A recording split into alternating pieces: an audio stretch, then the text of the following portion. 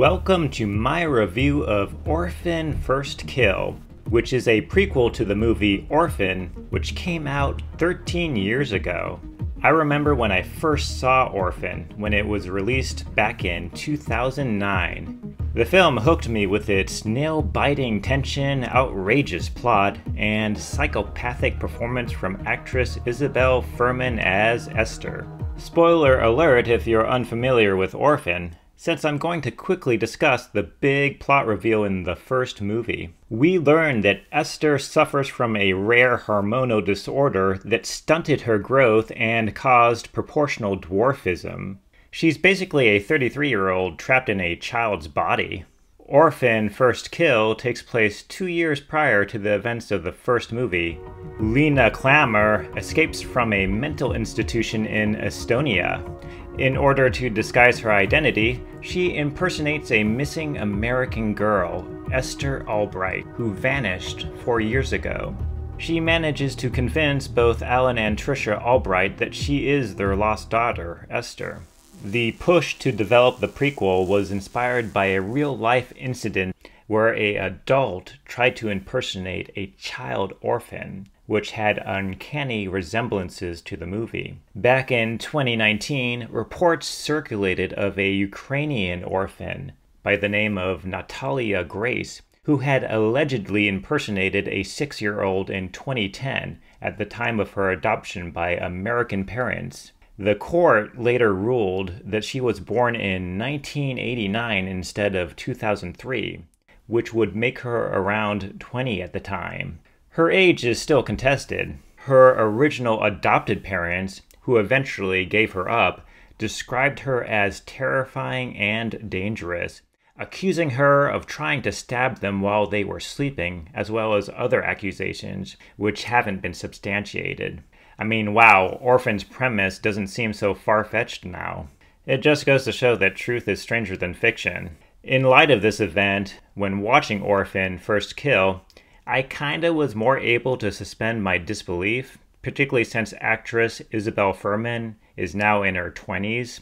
She was nine when she made the first movie, while she is supposed to be two years younger in the prequel. It seems like a hard sell, but the film seems pretty self aware about the absurdity of the age gap and makes it a element of the story. This is perhaps a minor spoiler, but the majority of the characters didn't really buy for very long that Esther is a kid, which I appreciated. I thought it helped the overall pace of the film, which doesn't have to spend a lot of time waiting for the characters to figure out Esther's secret, which also makes for some funny, awkward moments since it's clear as day that she isn't a kid. Whereas in the first movie, Esther is the con artist manipulating everyone, the prequel changes things up by making her equally a character subject to manipulation.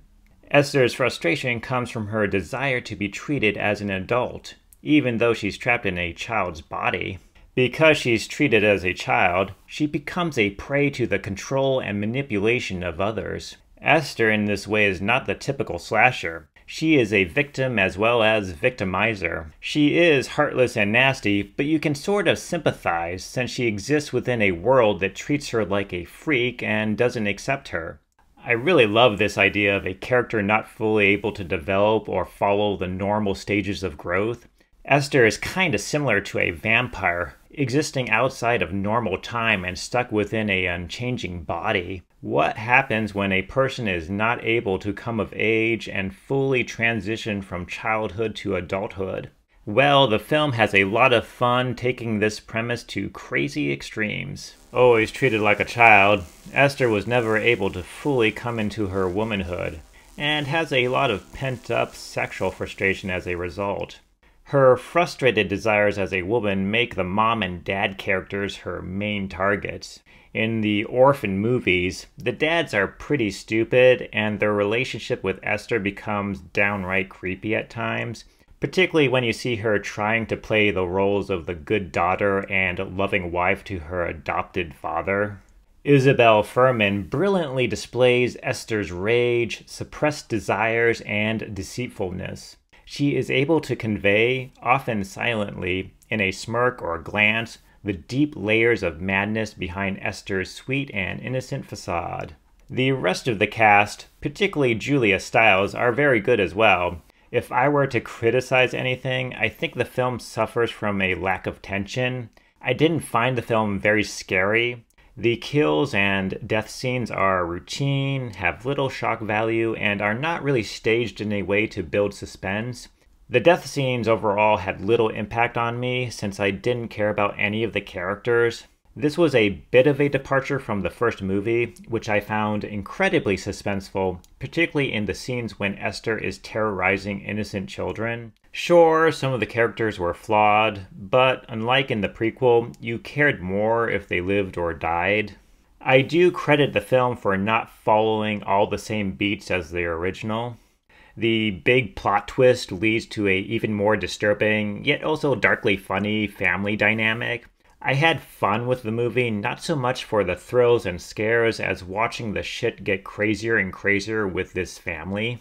The film cleverly normalizes Esther's psychopathic tendencies, and she doesn't seem like so much of a freak after all. The film was a one watch for me, but it was enjoyable, and I liked the dark humor, which had me chuckling at times. If you're like me and love a campy horror film, I think you might enjoy this movie. I do think the Orphan series overall is a fun addition to the slasher film genre.